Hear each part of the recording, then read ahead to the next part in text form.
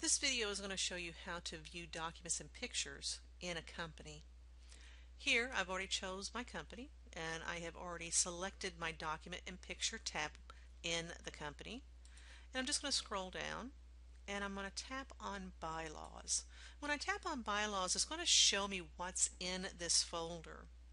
And if I want I can simply tap on this thumbnail and it's going to open up a web browser screen for me to view this item in that screen. It'll also give me the opportunity to download it, print it if I want to.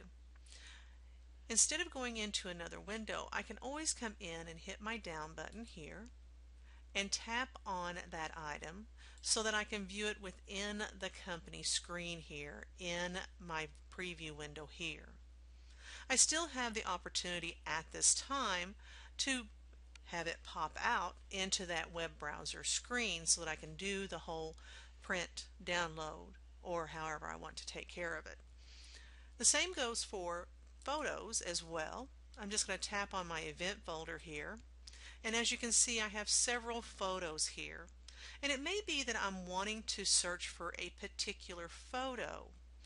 I can always do a sort by coming to one of the funnels here and putting in my criteria for my sort and it will then filter through all of the items in here to find my criteria that I have set up. Therefore if I come to my title and I'm just going to put in and I'm going to pull down my contains and then I'm just going to put in here black and then hit my filter it has pulled in all of my items, documents or photos that have the criteria of black in the title.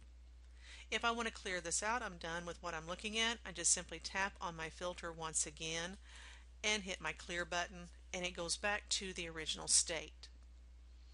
If I found what I'm looking for and I need to see that particular item just as I did with my bylaws in a larger format, I'm going to again hit my down button and then I'm just going to tap on that item that I want to enlarge and here happens to be that image.